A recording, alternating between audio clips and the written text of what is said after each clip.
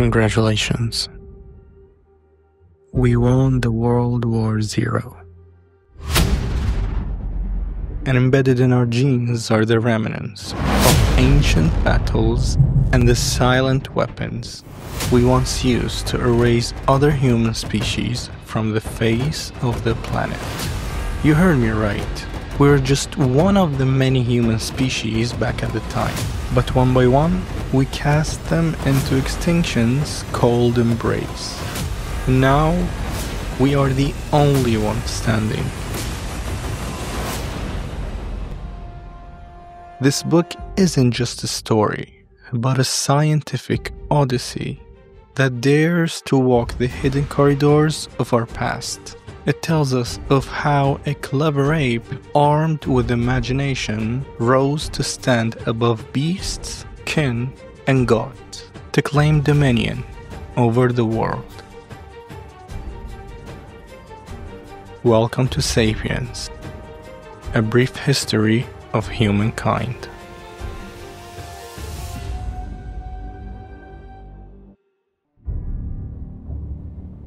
Using our mind map, we will take a deep dive into this book, starting from the first chapter The Cognitive Revolution. Part 1 An Animal of No Significance.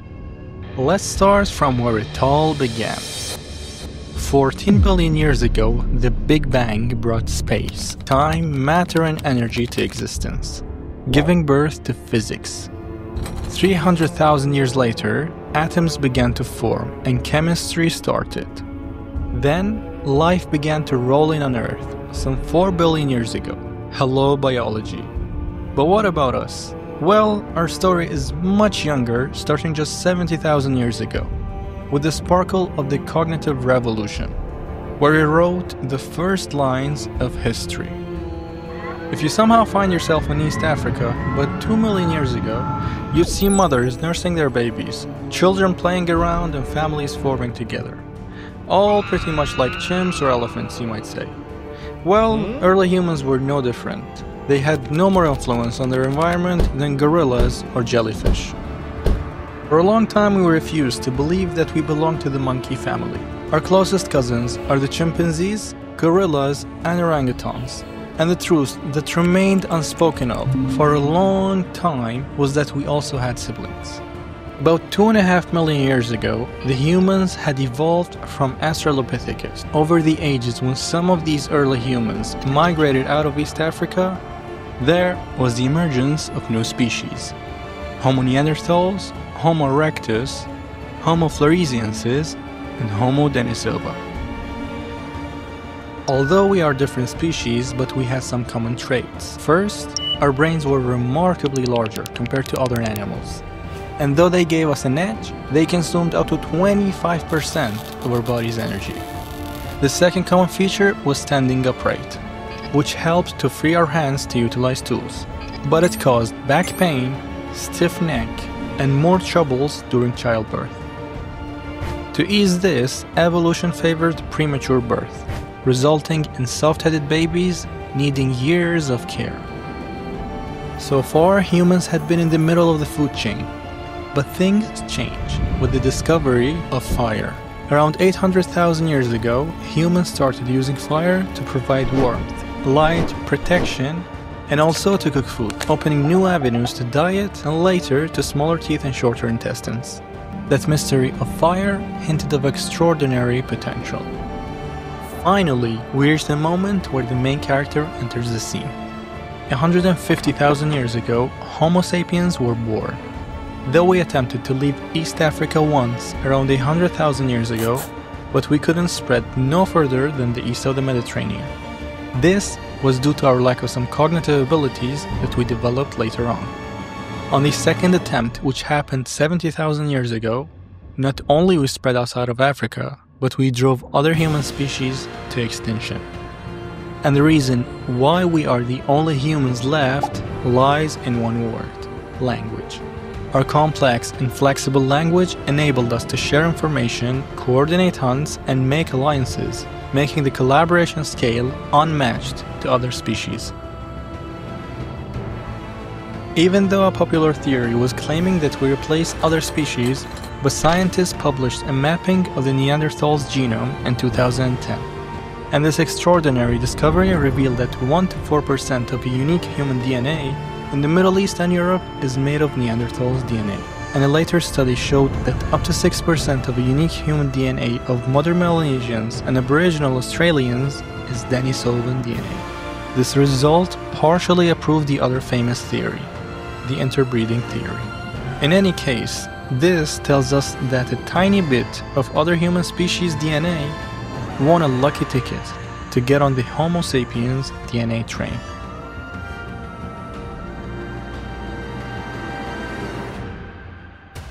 Part 2 The Tree of Knowledge. So let's pick up where we left off. A hundred thousand years ago, Homo sapiens first tried to venture out of their homeland, and they reached as far as the east of the Mediterranean, and then no further. They encountered a formidable obstacle the Neanderthals.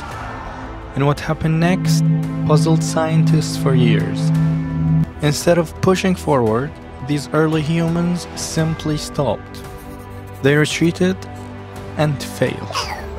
But why? The answer lies in their minds. These early sapiens, despite looking like us physically, didn't possess the same mental capabilities we have today. They couldn't learn, memorize, or communicate the way we do. Imagine teaching them English, it would be nearly impossible. Their minds worked in fundamentally different ways than ours. Then something changed. Around 70,000 years ago, our ancestors tried again. This time, the outcome was dramatically different. Not only did they successfully compete with the Neanderthals, but they also spread across Europe and ventured deep into Asia. Even more remarkably, by 45,000 years ago, they accomplished what seemed impossible. They reached Australia, a continent no human had ever seen before. What powered this incredible expansion, you might ask? Well, it's the cognitive revolution. A mysterious transformation in the human brain that occurred between 70,000 and 30,000 years ago. During this period, everything changed. Our ancestors began creating sophisticated tools boats to cross seas, oil lamps to light the darkness, bows and arrows to hunt from a distance, and needles to sew warm clothing. But the revolution wasn't just about tools. Here's where the story gets even more fascinating. While other animals could communicate, think of wolves howling or dolphins clicking, human language evolved into something entirely different. Let's consider a simple example. When a monkey spots a lion, it can only shout a warning to its group. But a human hunter could tell their tribe this morning, by the bent tree near the river, I saw a huge lion stalking a herd of bison. Suddenly, our language becomes a tool for strategy, storing knowledge, and planning for the future. But the true magic of human language went far beyond describing what their eyes saw. For the first time in the history of life on Earth, a species could talk about things that didn't physically exist. Our ancestors could conjure up spirits, gods, afterlife, and complex social rules, all through the power of shared imagination. This ability might seem trivial today, but it changed everything. Think about this. Bees can work together in thousands, but they can only follow their genetic programming. Chimpanzees can form flexible social groups, but they need to know each other personally limiting their groups to no more than 150 members. Humans, however, broke these barriers. Through our ability to create and believe and share stories, whether they're religious myths, national legends, or economic systems, we could cooperate with complete strangers in virtually unlimited numbers. This newfound ability gave us another extraordinary advantage. While other animals had to wait for biological evolution to change their social behavior, humans could transform their societies almost overnight. When ancient humans needed to adapt to new challenges, They didn't wait for genetic mutations, they simply created new stories, new beliefs, and new ways of organizing themselves. The power of this cognitive revolution becomes crystal clear when we look at ancient trade networks. In ancient Homo sapiens settlements in Central Europe, researchers found seashells from both the Mediterranean and the Atlantic coast. This discovery reveals something profound. Our ancestors had established vast trade networks spanning thousands of miles. Meanwhile, Neanderthal sites show no evidence of such exchange, with each group only using local materials. This ability to create shared beliefs and stories, from religious myths to modern concepts like money and corporations, became the foundation of human civilization. Today, our entire world runs on these shared stories. When you think about it, money only has value because we all believe in it, and nations only exist because we all agree they do. This incredible power to create and believe in shared stories, this is the true legacy of cognitive revolution. The transformation that began 70,000 years ago continues to shape our world today.